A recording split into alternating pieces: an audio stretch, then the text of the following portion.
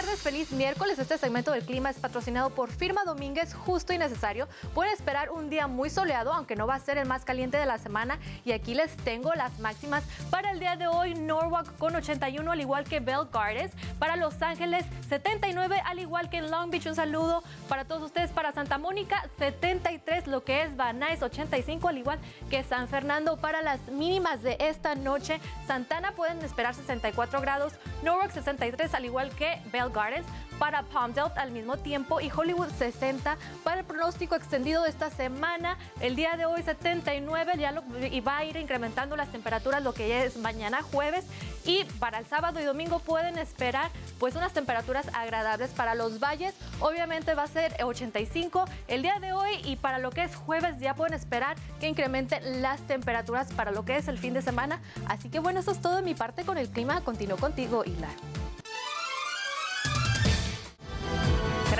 Continuar con Noticias 62 en vivo. Hoy juega México. ¿Qué te parece, Giselle, si nos vamos de inmediato a los deportes para que pues Renan sea el que Claro nos que explique de este partido tan anticipado, ¿no? Ojalá ganemos. Vamos, Renan. Ya lo que te truje, chencha, como.